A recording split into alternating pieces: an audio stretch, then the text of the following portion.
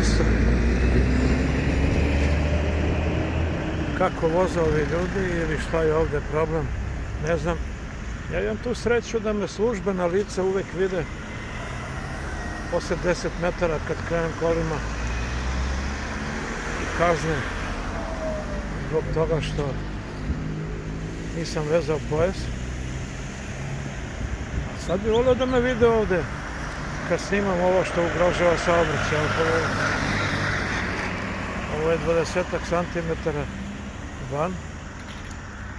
I sad ću da zovem Bovana Tolića ponovo ja, a ne saobraćeni policajci, službena lica, da prijave i da pitaju ko održava ovo, jer ovo može da ugrozi saobraćaj, da neko lupi u to, da skrne desno, da najđe od tuda vozilo i to je to. Dobro, malo se šalim, ali sam malo i ozbiljan. Tek nešto ovde nije dobro proračunato.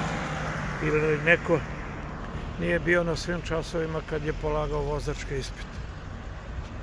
Šalu na stranu, ali evo kako se izlazi iz grada i kakvu sliku pokazujemo kad nam gosti dolaze u naš lepi grad. A baš me čudi ovi redakcijama ili ovi što rade sa kuhinskog stola.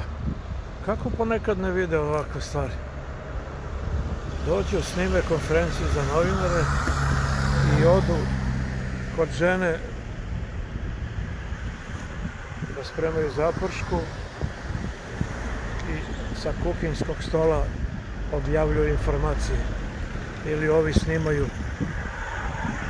Malim Android telefonom ono što rade kamere a kao velike televizije. Igramo se ozbiljnim poslom. Evo ja sam naišao i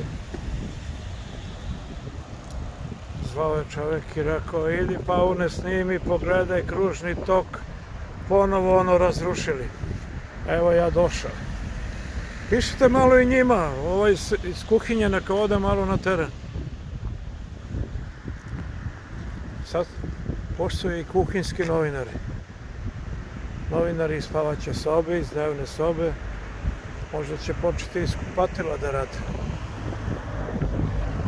Evo, to je to.